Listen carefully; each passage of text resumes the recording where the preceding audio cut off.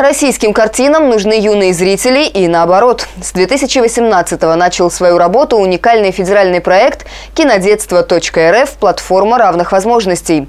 Его авторы хотят создать сеть детских киноклубов и объединить кинотеатры и библиотеки в единое творческое пространство.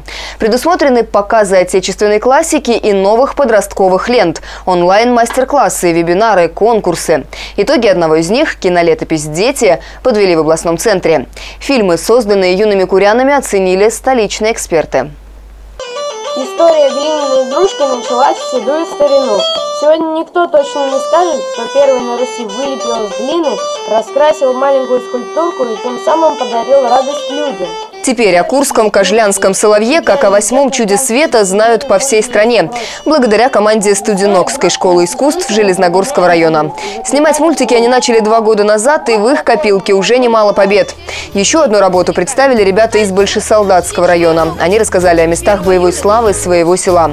Всего в конкурсе приняли участие 35 регионов. Жюри отсмотрело 252 ролика. Призовых мест курянам не досталось, но эксперты отметили работу областного киновидеофонда фонда. Курский кинофонд стал одним из таких, э, знаете, как методических таких центров вот этого проекта, поскольку мы выпустили специально для э, мастер-классов, которые проводились по всей стране, мы сделали э, несколько, 5 ну, или 6, по-моему, видеороликов о знаменитых режиссерах, которые снимали детское кино.